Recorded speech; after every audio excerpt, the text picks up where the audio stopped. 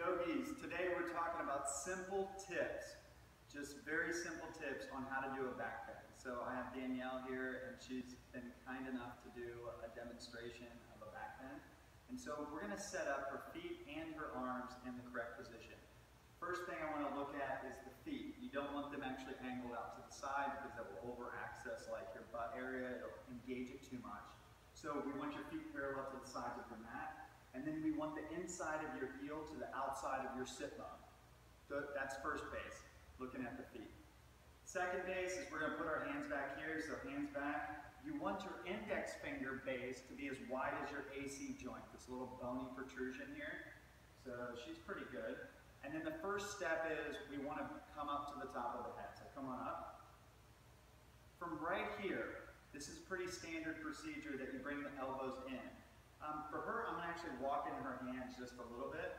Elbows come in, and then in order to access the side body, which I'm all about the side body because I want the big muscles to do the work of this stuff, we're going to take the humerus bone and push it into its socket. So just a slight push in, and then she can come up. So come on up. And so immediately what you can see is that she's like a little bit more engaged here instead of just using deltoids, neck, trapezius, all of those muscles, which aren't, aren't used to be um, bearing a huge amount of weight. So, yogis, elbows in, uh, humerus into shoulder socket, make sure your feet are wide.